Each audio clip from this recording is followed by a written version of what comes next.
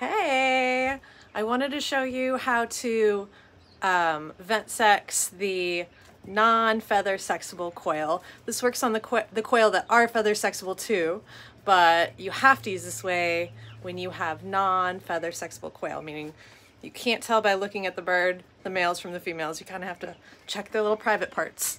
It's really easy. Let me show you. Um, let's see. So we have this guy see if I can do this on video. This guy is a male and he is nine weeks old. So usually around eight weeks old, they don't like being held. I don't hold my quail all that much, so they're still not used to it. Um, around eight weeks old, you can start telling the males from the females. This guy's nine weeks old, so we are really good in the clear to tell. So you're gonna look at their little heinies. And if you can see, let me find his little hiney. There we go. All right, so this is his hiney, and I don't know if you can tell from the video, but he's got a bulge right at the base of his vent. And when I push it, like that white meringue, white mousse comes out. I barely pushed it. That is what he uses to transfer his sperm to the females. So the white mousse, the white meringue, when you gently push underneath the vent, that's a boy. Let me put him back.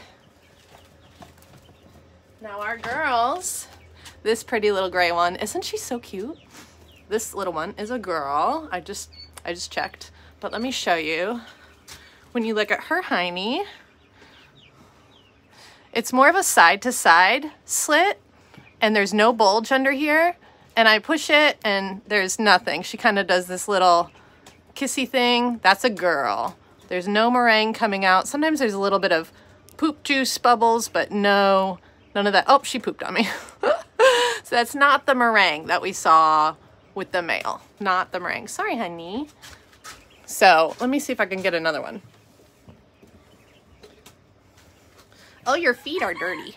Look at this sparkly. So pretty. I think this is a boy. I haven't checked. So let's see. So this is one's a little bit younger. So if we push underneath, nothing. So this is actually a girl a girl.